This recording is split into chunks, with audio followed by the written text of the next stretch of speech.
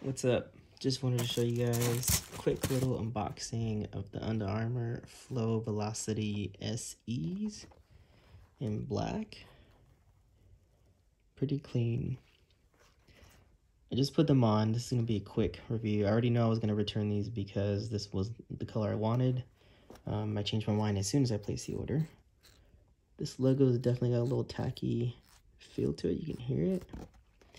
But so far, what I don't like even just walking on carpet and then also walking in the kitchen floor is that this flow stuff is literally stiff. Like I really have to put pressure to get this to bend at all. You can see that. I'm really pushing. So, I don't know, running, I'm not sure yet. So I was going to return these and get a different color right away, but I think now I'm going to hold off and see what else can have maybe more plush. Because I also want to use them to work out in and train in. Cheap New Balance shoes. It's like the same foam I have to push hard just to get this to squeeze compared to something like these old bad boys that I have.